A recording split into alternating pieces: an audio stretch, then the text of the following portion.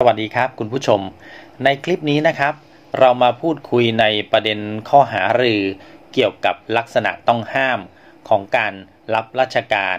กรณีที่ต้องโทษจำคุก แต่ว่าให้รอลงอาญาไว้ก่อนเนี่ยสามารถที่จะ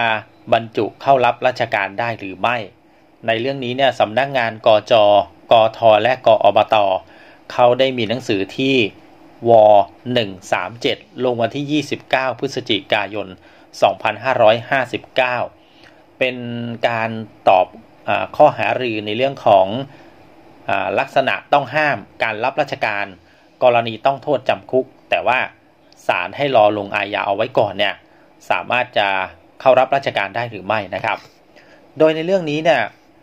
กอบตในการประชุม กอบตครั้งที่ 6 ทับ 2557 เมื่อวันที่ 24 กรกฎาคม 2557 และกอจในการประชุมครั้งที่ 10 ทับ 2559 เมื่อวันที่ 28 ตุลาคม 2559 เขาได้มีมติเกี่ยวกับลักษณะต้องห้ามการรับราชการ เป็นพนักงานส่วนตำบล และการเป็นข้าราชการองค์การบริหารส่วนจังหวัด กรณีที่ผู้ต้องคำพิพากษาถึงที่สุดให้จำคุก แต่ว่าให้รอการลงโทษนะครับว่าผู้นั้นเนี่ยไม่มีลักษณะต้องห้ามในการรับราชการนะครับ เพราะฉะนั้นกรณีต้องคำพิพากษาถึงที่สุดให้จำคุก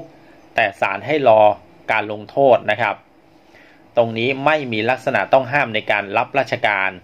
โดยเทียบเคียงได้กับหนังสือคณะกรรมการกฤษฎีกาที่ ท370ทับ2488 ลงวันที่ 21 มีนาคม 2488 ในเรื่องผู้ต้องคำพิพากษาให้ลงโทษจำคุก แต่ศาลแต่ศาลอาญานะครับแต่ศาลยกอาญาจำคุกนะครับ ยกอาญาจำคุก หรือก็คือการรอลงอาญานั่นเองนะครับ สรุปความว่าบุคคลผู้นั้นจะต้องเป็นผู้ที่ได้รับโทษจำคุก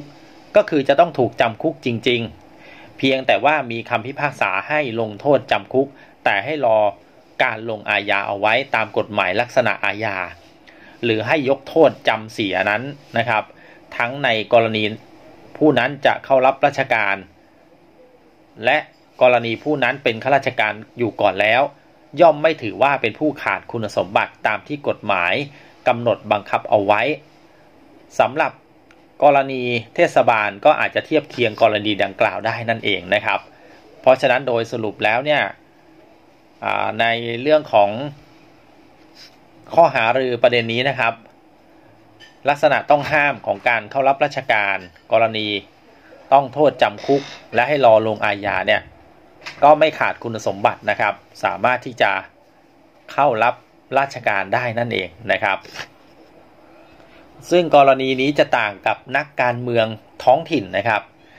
ถ้ากรณีนักการเมืองท้องถิ่นที่ศาลมีคำพิพากษาจำคุก แต่ให้รอลงอาญา และถ้าเป็นเรื่องของการทุจริตหรือกระทำผิดเกี่ยวกับทรัพย์ โดยทุจริต